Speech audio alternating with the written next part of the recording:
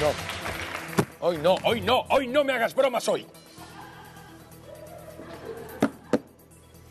Muy buenas tardes y bienvenidos a ¿Qué está pasando en Telecinco? El informativo que... El informativo que hace el ridículo cuando tiene la oportunidad de darse a conocer a toda España. ¿Qué dices? Digo lo que digo.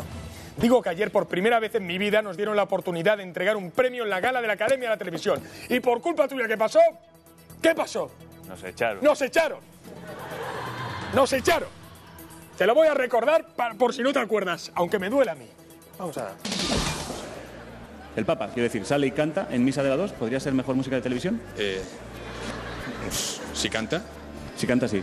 Quiero decir, si el Papa hace un reality donde él canta, puede estar nominado.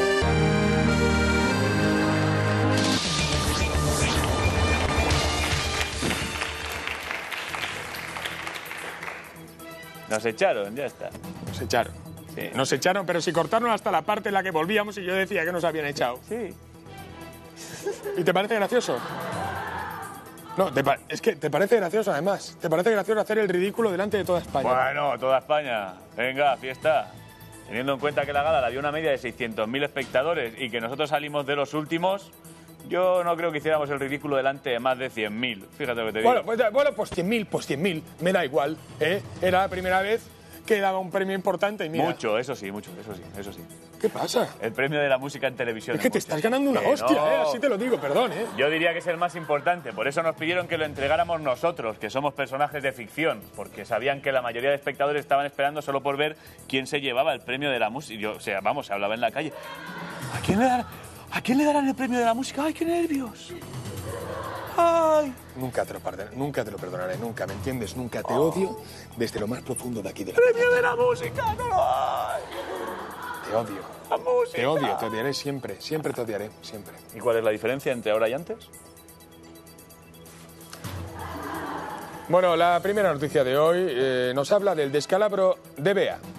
Telecinco no acierta con su nueva programación estival. Bea, uno de los productos que mejor funcionaban en Casa Basile, bajó ayer hasta un paupérrimo 6,9 de share. Los motivos son los cambios horarios que Telecinco ha realizado en su parrilla, adelantando la emisión de Yo Soy Bea para reforzar su serie juvenil Un Golpe de Suerte, que tampoco ha funcionado. Lo que hace que su título sea todavía más cómico. No metas puntillicas. No Lo que queda claro es que, como leíamos en el confidencial, Casa Basile la ha vuelto a liar pardísima en la sobremesa.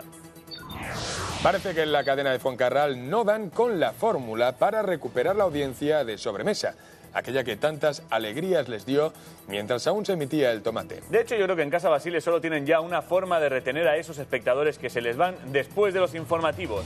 Y es esta. Y para mañana esperamos un mapa atmosférico muy parecido al de hoy, con sol en la mayoría de las provincias y algunas nubes intermitentes en la zona del noroeste peninsular. Y ahora, mírenme fijamente a los ojos, mírenme a los ojos. Sientan cómo su cuerpo se vuelve más y más y más pesado. Los dedos se agarrotan. La mano no les responde, no pueden cambiar de canal, no pueden cambiar de canal. Solo desean ver Telecinco. Telecinco. No pueden cambiar de canal.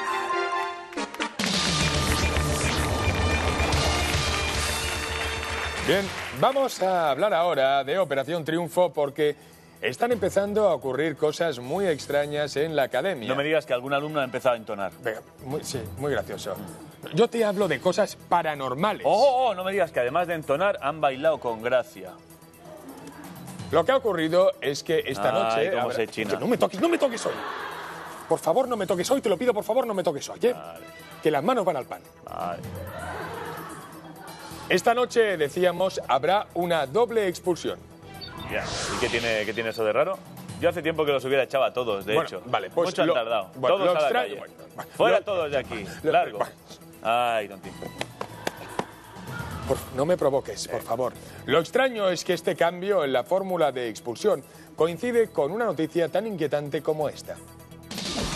Al parecer hay alumnos que ya no soportan más seguir encerrados en esa academia y algunos, como Ángel, gritan en sueños, según contó Silvia, una de sus compañeras. El chico gritaba, sacadme de aquí, mientras dormía. ¿Gritaba Sacadme... en sueños? Gritaba en sueños. ¿Gritaba en sueños? Sacadme de aquí. Sí, gritaba en sueños. Gritaba, sacadme de aquí, sacadme, Sacadme de aquí. en sueños. ¿Qué? ¿Te parece, ¿Te qué? parece extraño? parece- No sé. ¿No te parece extraño? No, en realidad no, porque yo le he visto cantar y el chaval también berrea despierto. Bueno, déjate de bromas. O sea, ah, no, hay algo muy extraño que está ocurriendo en esa academia. Primero, Ramoncín abandona sin dar explicaciones. Luego, los alumnos gritan en sueños que quieren eh, que les saquen de allí. Y hoy expulsan a dos en vez de a uno para acabar antes. Sí, la verdad es que esta edición, más que un concurso, cada vez se parece más a una película de terror, con tráiler y todo. Chris, Chris, ¿estás despierta? ¿Eres tuyo? Si es que no puedo dormir. Yo tampoco. Tengo mucho miedo. Yo también, ¿no tienes frío? Sí, pero ¿cómo puede hacer frío si estamos en verano? Son ellos, están aquí. Vienen a advertirnos. ¿A quién te refieres? A los otros, a los muertos, aquellos que moraron entre estas cuatro paredes y ahora ya no están entre nosotros. Pero, ¿te refieres a...? Sí, Javián, Juan Camus, Geno, Mirella. ¡Oh, Dios! Y Anaí Thomas. Tal vez el que sufrió la muerte más horrible eh, iba para actor de cine en Hollywood y acabó haciendo películas de chiquito. ¿Pero por qué nos torturan? ¿Por qué se nos aparecen? Vi- Vienen a protegernos para que no nos ocurra lo mismo que les sucedió a ellos. Mira, ya están aquí. Soy.